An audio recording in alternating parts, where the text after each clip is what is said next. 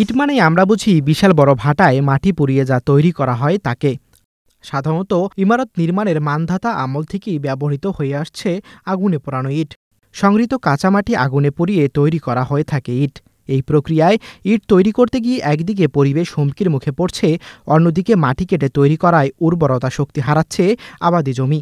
আর এই অসংখ্য বৈধ ও অবৈধ ইটভাটা যখন পরিবেশ ও ভূ প্রকৃতির জন্য হুমকি হয়ে দাঁড়িয়েছে, ঠিক সে মুহূর্তেই এই হুমকির হাত থেকে রক্ষার্থে রংপুরের পীরগঞ্জের গঙ্গারামপুর আমতলা বাজার এলাকায় গড়ে উঠেছে মাটি ছাড়াই পরিবেশ বান্ধব ইট তৈরির কারখানা।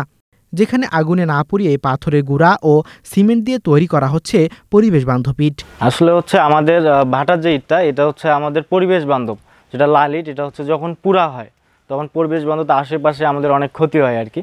তো আসলে ওই লাল ইটের থেকে এটা অনেক শক্ত হয় এবং অনেক মজবুত হয়। যেটা আমরা বুয়েটে টেস্ট করার পর যেটা পাইছি, ওটা হচ্ছে আপনার যখন হচ্ছে লাল ইটটা আমরা প্রেশারে দিই, চব্বিশ পার্সেন্ট যখন প্রেশারে আসে, তখন হচ্ছে আপনার লাল ইটটা ভেঙে যায়। আর এটা হচ্ছে আপনার পঁচাত্তর পার্সেন্ট পর্যন্ত এটা ক্যাচ করতে পারে।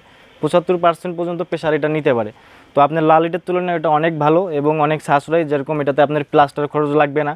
এটার গুণগত মান অনেক ভালো। যেমন একদম প্লেন এটা দেখতেই পাচ্ছেন যে যেমন এটা সমান একদম এটা সমান এটা তো ইটও কম লাগবে আপনাদের খরচও কম হবে। প্রথমে ইট তৈরির জন্য বালি এরপর ছোট পাথর আবার বালি এরপর আবারও মেশানো হচ্ছে পাথরের মিশ্রণ। আর এই উপাদানগুলো প্রয়োজন মতো মিশিয়ে তৈরি করা হচ্ছে ইট। সিমেন্ট থাকতেছে পাথর থাকতেছে পাথরের ডাইস থাকতেছে এবং বালু থাকতেছে।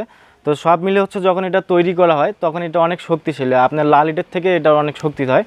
আর সংশ্লিষ্টরা বলছে, এই ইট দিয়ে যদি কেউ গৃহ নির্মাণ করে, তাহলে চল্লিশ শতাংশ খরচ সাশ্রয়ী হবে, যা মাটি দিয়ে তৈরি ইটে কখনোই সম্ভব না।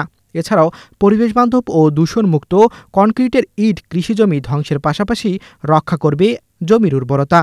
বীরগঞ্জ প্রতিনিধি আশিকুর রহমানের পাঠানো তথ্য ও ভিডিও চিত্রে আগাচন্দ্র পাপ্পু, আপডেট টিভি।